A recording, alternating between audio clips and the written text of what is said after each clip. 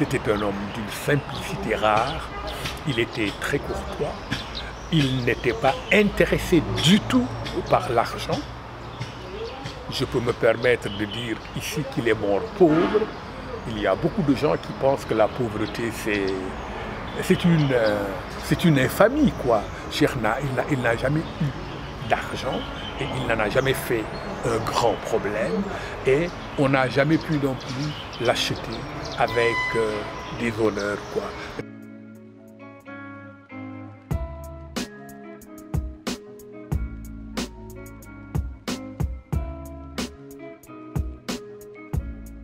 Euh, à chacun ses modèles. Moi, lorsqu'on vient dans ma maison, euh, partout où j'ai eu à habiter et encore là où je suis, eh bien, il y a une immense photo de Cheikh Anta. Je ne suis pas quelqu'un qui admire très très facilement parce que j'ai tendance à aussi avoir un, certain esprit critique, à être... Euh, je suis plutôt sceptique de nature. Mais s'il y a une personne, sans que je la juge parfaite, ce serait ridicule de dire qu'un être humain est parfait. Sans que je juge cette personne parfaite, il y a quelqu'un euh, vraiment euh, que je considère comme un modèle je dirais même comme ma référence absolue. C'est Cheikh Anta Diop. Cheikh Anta Diop parce que, en fait, euh, d'abord, c'était quelqu'un, malgré son haut niveau d'éducation, de, formation intellectuelle, de connaissance du monde, par les livres et par les voyages, malgré sa fabuleuse expérience humaine, c'était quelqu'un qui était resté un homme euh, attaché à ses racines et à son terroir. Euh, il était, malgré une courtoisie euh, de moins en moins imaginable de nos jours, il était d'une rare fermeté. Il ne négociait jamais ses opinions. Et je peux dire que pendant longtemps, il a été pratiquement seul contre tous.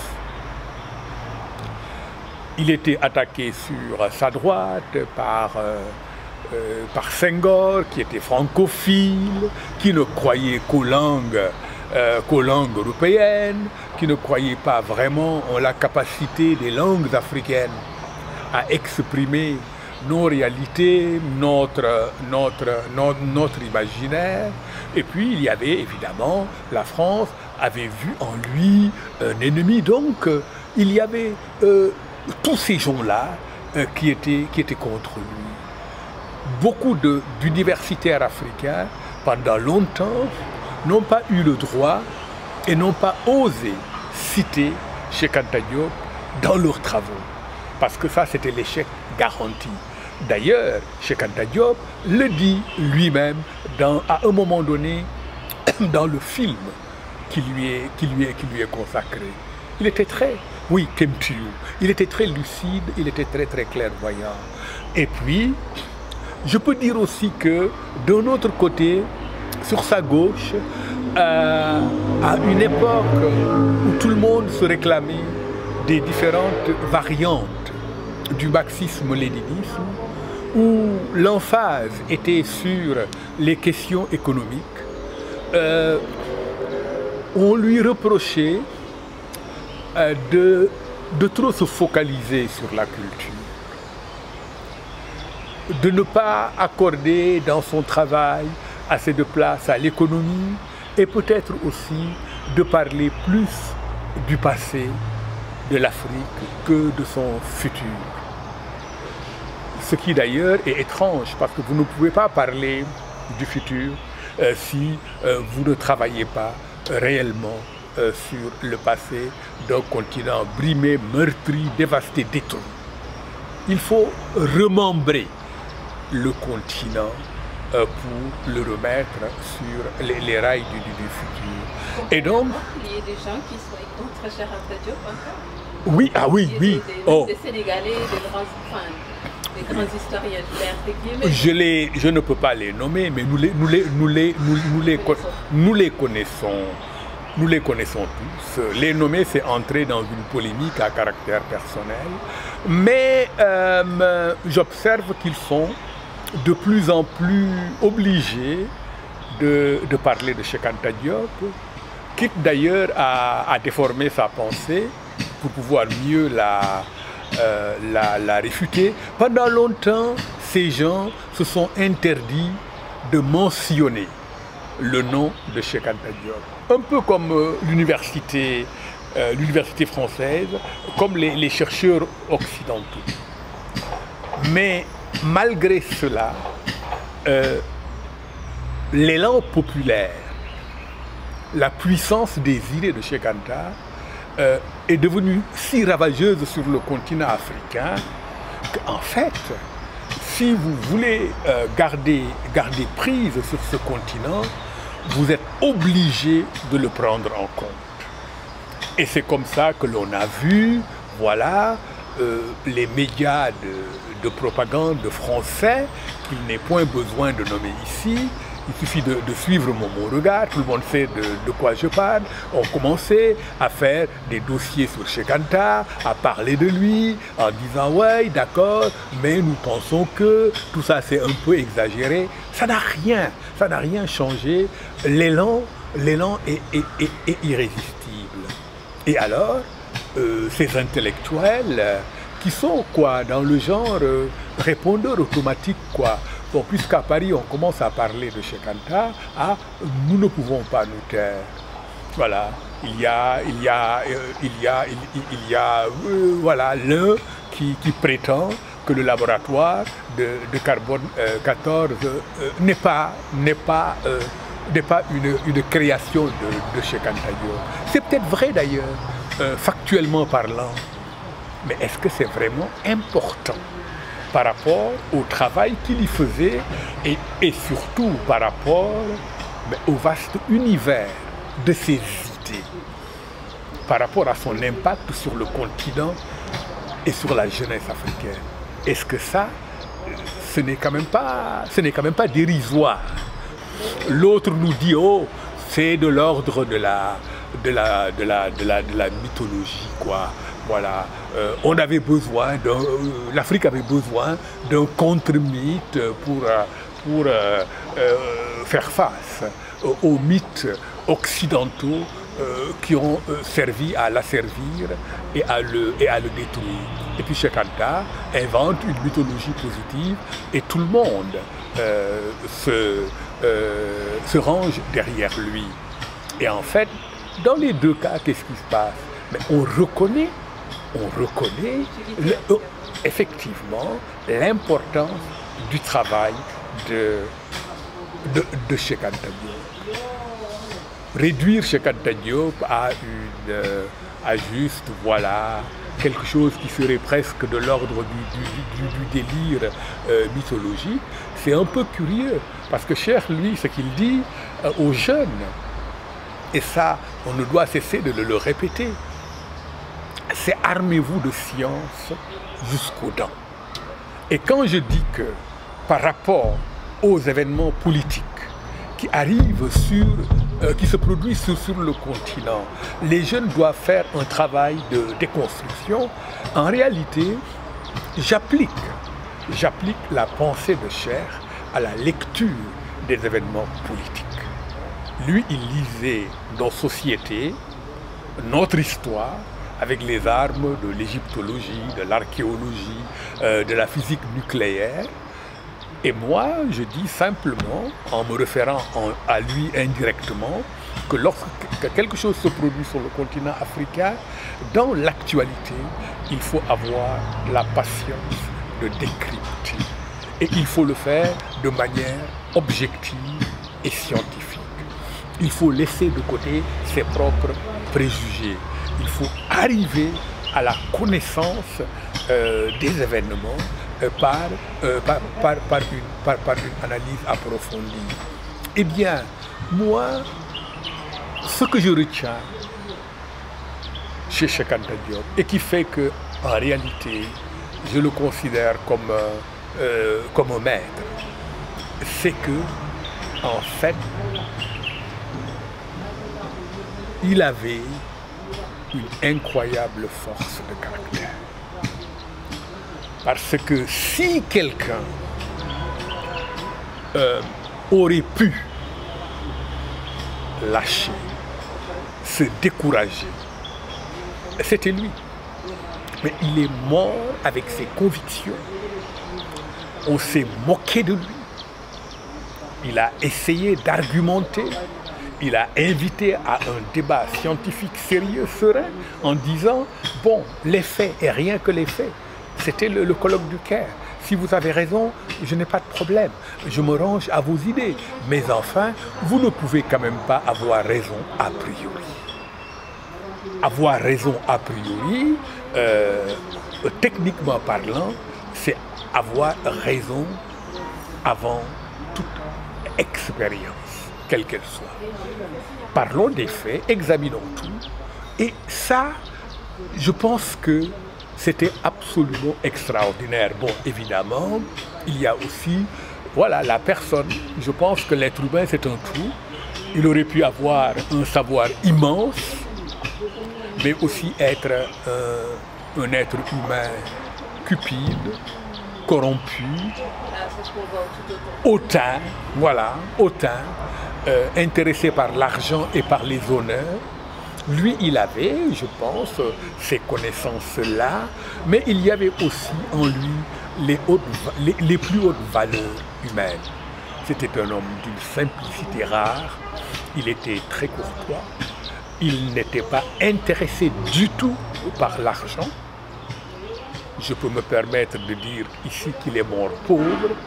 Il y a beaucoup de gens qui pensent que la pauvreté, c'est, c'est, une, euh, c'est une infamie, quoi. Cheikh Na, il n'a, jamais eu d'argent et il n'en a jamais fait un grand problème. Et on n'a jamais pu non plus l'acheter avec euh, des honneurs, quoi.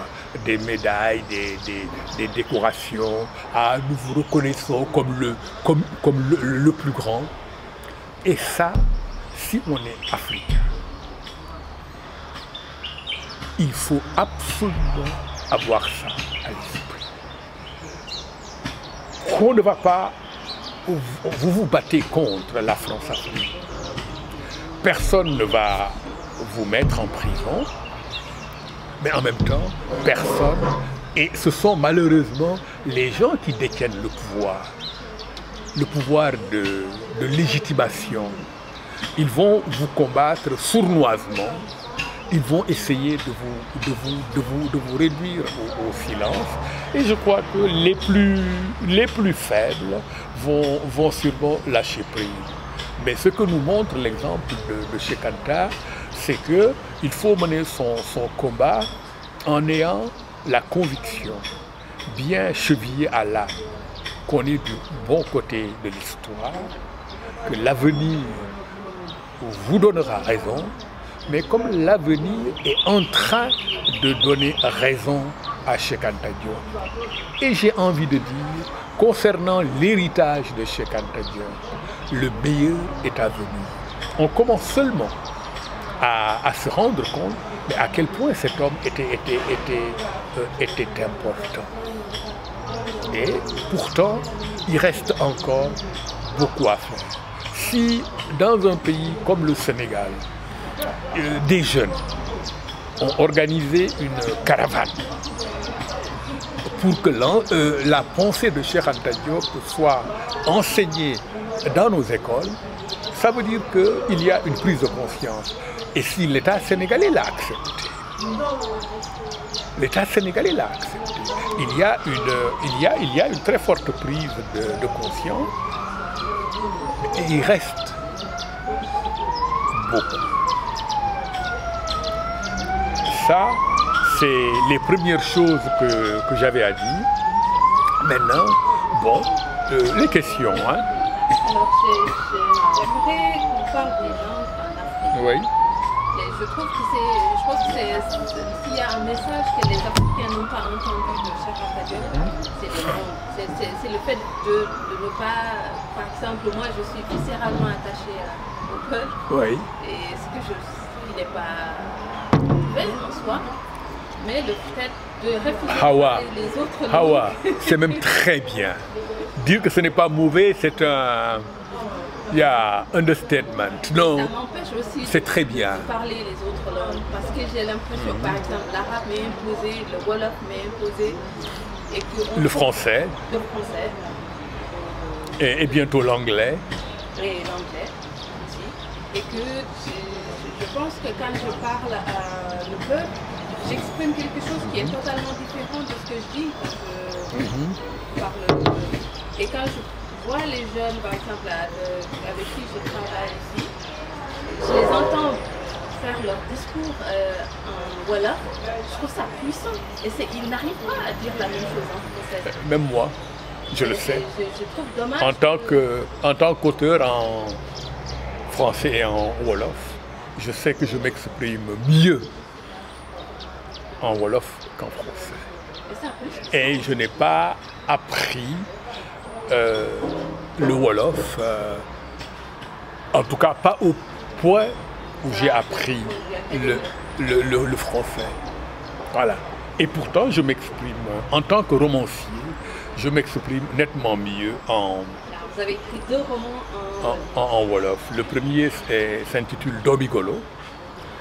Euh, D'ailleurs, nous l'offrons gratuitement euh, sur le site de notre maison d'édition euh, qui s'appelle, euh, je me permets de le, de le dire ici, ed, ed, edjowolofbooks.com.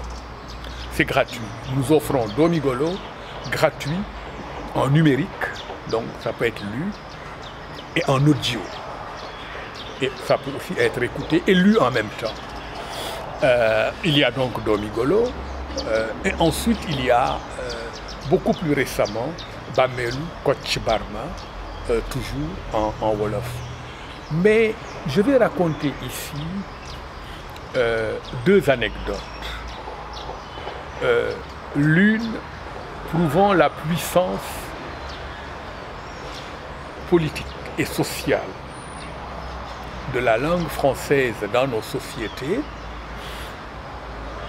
et l'autre euh, euh, prouvant finalement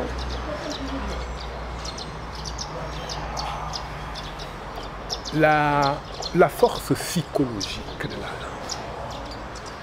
La première anecdote, euh, je regarde un documentaire du cinéaste camerounais euh, Jean-Marie Tenou.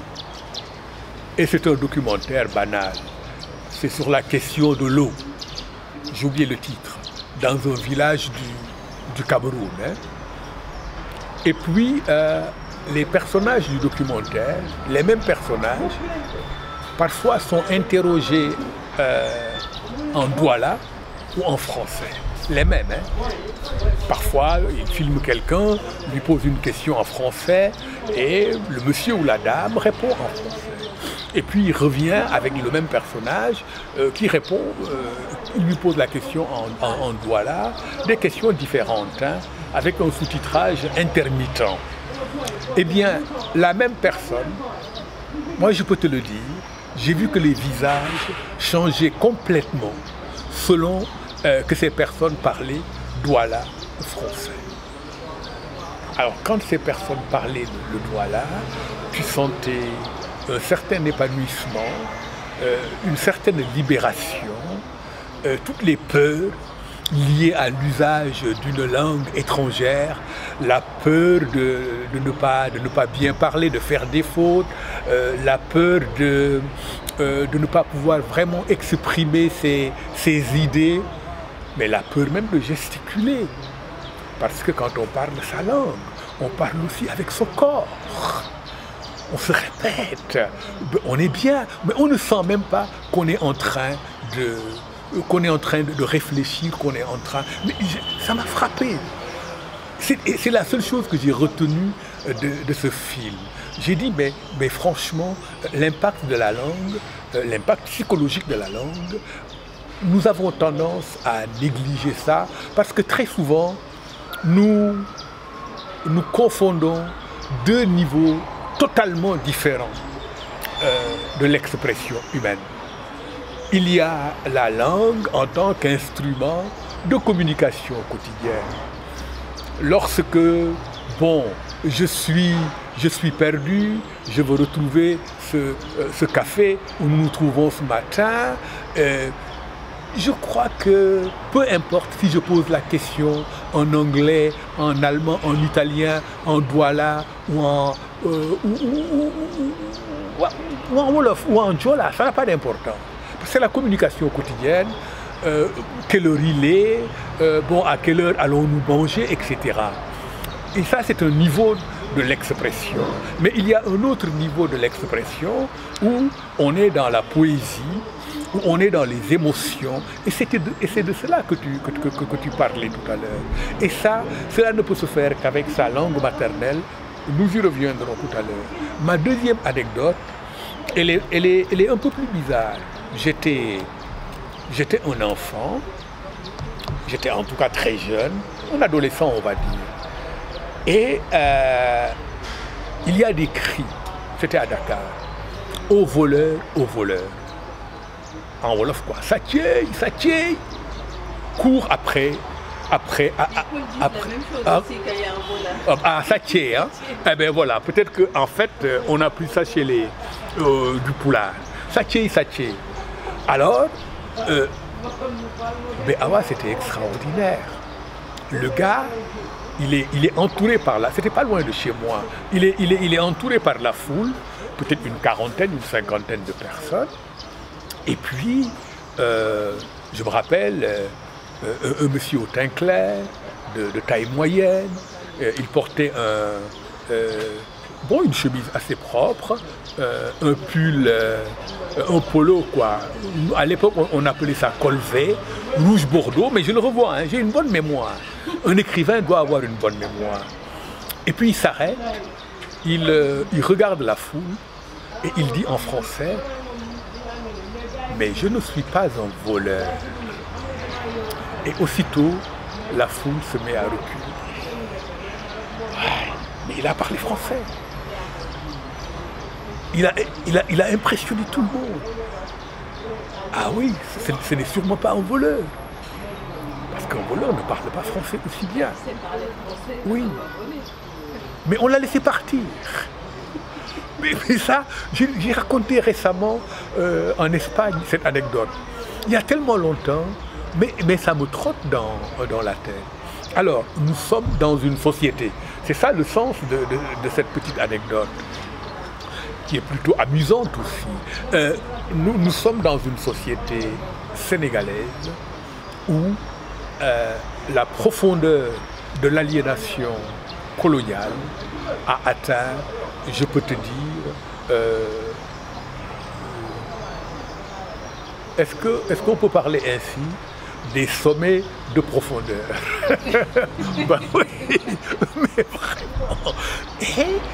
On connaît des gens, mais qui interdisent à leurs enfants de parler les langues du, pays. Ne parlent pas Wolof, ne parlent pas Poulard, ne, ne parlent, ne parlent rien. Il faut parler français. Et d'ailleurs, euh, il ne faut pas faire de, procès en, sorcellerie trop rapide.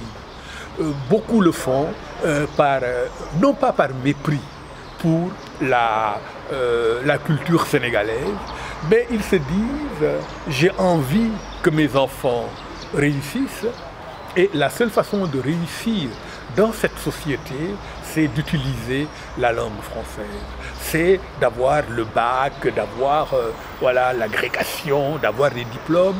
Et donc, oui. Et parfois, d'ailleurs, ce sont des, personnes de conditions modestes. Et plus on est de conditions modestes, vraiment, plus on a envie de voir ses enfants sortir de cela, parce qu'on sait à quel point c'est dur. Donc on l'a, c'est vraiment très très... Et ça continue, il y a des gens.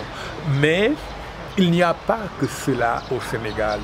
euh, il y a un grand débat linguistique, il y a une littérature en langue nationale, il y a, euh, bon, voilà, essentiellement en poulard et en wolof. C'est enseigné à l'université, à l'université Gaston Berger. Il y a un prof de, de poulard et un prof de, euh, un prof de, de wolof. Euh, et les étudiants sont obligés de choisir euh, une des deux langues comme première langue et l'autre comme langue seconde. Si on choisit le Wolof comme première langue, le Poulard devient immédiatement la langue seconde et inversement. Il y a donc, et bon, les premiers diplômés ont été formés, il y a des, des licenciés entièrement euh, en langue Wolof et en langue Poulard. Le, le prof de Poulard s'appelle euh, Mamadou Djibril. D'ailleurs, il vient de. euh, quand il avait été recruté à Gaston Berger, il venait de Nouakchott. Il venait de Mauritanie. Donc, bon, moi j'ai enseigné le Wolof. Aujourd'hui, euh, c'est une jeune femme euh, euh, brillantissime du nom de Sornaba Diop euh, qui enseigne là-bas le Wolof avec d'autres. Mais en tout cas, c'est elle qui est responsable. Donc, le, travail est là. Qu'est-ce que ça veut dire? Ça veut dire que partout, en tout cas dans les pays africains où la situation le permet, le fait qu'il y ait plusieurs langues ne doit pas empêcher d'aller de l'avant. Il faut trouver des, il faut trouver des solutions de compromis. Euh, on peut effectivement avoir l'impression bon, que euh, dans certains pays, le, comme le Sénégal, le, le Wolof quoi, prend trop de place. Peut-être que c'est vrai. Moi, euh, je suis Wolof et peut-être que je suis plus ou moins mal placé pour voir vraiment le, problème euh, tel qu'il est. Et quand les autres disent cela, en fait, j'écoute attentivement. Et la tendance aujourd'hui dans ce pays, c'est de faire en sorte que, euh, pour ne pas être bloqué, pour ne pas rester à l'arrêt, c'est de faire en, sorte que le, euh, le Wolof soit la langue nationale et que dans toutes les régions du, pays, on enseigne le Wolof est la langue la plus importante du, du- terroir. Euh, au Fouta, ce le Wolof et le Poulard, au Sim, le Serer, euh, en Casamance, le Wolof et le Djola, Mandinka, etc., etc. En tout cas, il y a des aménagements à faire, il y a, des, solutions à trouver. C'est une question délicate. Mais ce qui est certain, c'est qu'il faut absolument trouver une solution parce que euh, sans cela, euh, ce qui va se passer, c'est euh, le fait qu'une langue étrangère va garder tout son pouvoir. Et cette langue étrangère, c'est la langue de l'ancien colonisateur. Nous devons sortir de là. C'était déjà l'idée de Cheikh Anta c'est l'idée de Haïkwe Arma, un auteur ghanéen importantissime, euh, qui vit d'ailleurs au Sénégal. Et c'est de plus en plus l'idée de Ngudi Wachongo. C'est euh, l'idée d'une langue africaine commune. Les Africains se mettent Comme le Swahili. par exemple, pour tous les Africains. De plus en plus, personnellement, c'est ma pensée. C'est cela que je, cela que je propose. Et puis, dans les différents pays, dans les différents pays, que les dynamiques linguistiques particulières restent à l'œuvre. Parce que ici aussi, la situation linguistique du Sénégal n'est pas celle de la Mauritanie. Ce n'est pas celle du Gabon, du Cameroun ou de la Côte d'Ivoire. De ce point de vue, nous avons des histoires différentes. Il y a, il y a le nombre de langues, il y a euh, par exemple le Nigeria, il y en a beaucoup, Euh, il y a euh, bon, le, fait que euh, dans certains pays, euh, la question, euh, la, question ethnique reste une bombe à retardement. Et donc, dans ces pays-là, on trouve des solutions pour faire en sorte que les langues africaines se développent au rythme nécessité par la situation. Mais il n'empêche que tous ces pays-là convergent vers une langue africaine commune. Euh, l'unique chance de, survie de la langue française dans notre pays, c'est la division entre euh, les langues africaines elles-mêmes. Que ce soit le, Gabon, la Côte d'Ivoire, etc. Le, français est là, bon, parce que juste, pas parce que les gens pensent que c'est supérieur, parce que c'est une langue qui n'appartient à personne d'entre nous. Je, ne me sens, je ne me, oui, je ne me sens pas visé euh, directement lorsque j'entends quelqu'un parler la langue.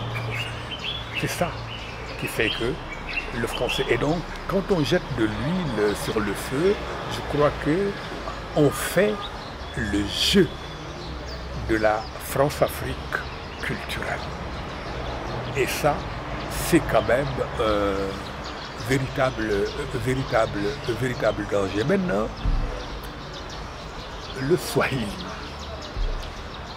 les dynamiques linguistiques nationales, que chacun, à son niveau, essaie de trouver des solutions, Maintenant, que faire du, français et de l'anglais? On les garde. On les garde parce que ça permet de parler avec le reste du monde. Et personne ne doit pouvoir nous dire, oui, alors, mais le Swahili, mais vous vous coupez du monde. Oh, mais le poulard, le serré, le, le mais c'est quoi? Le béti, ces histoires-là. Yes on a besoin de ça en misant sur la longue durée de l'histoire, n'est-ce pas? Mais aussi dans l'immédiat. Dans l'immédiat, il y a la nécessité de communiquer avec le reste du monde. Et ça, ça se fait à travers les langues que tout le monde utilise les Chinois, les Japonais, ils travaillent, les Coréens, puissamment sur leur propre langue, mais ça ne les empêche pas du tout, du tout de rester connectés euh, au monde à travers en particulier la langue anglaise. Quand on va en Chine et qu'on parle anglais, euh, dans certains milieux, ben, on a toutes les, toutes les chances d'être entendu et compris. Et là, au lieu que ce soit utiliser les langues étrangères comme instrument d'aliénation, mais les utiliser comme moyen de partir à la conquête du monde. Exactement comme font les Asiatiques. Je protège mon bien, mais après, je pars à la conquête du monde avec les armes de notre temps. Et l'anglais est une des armes de notre temps.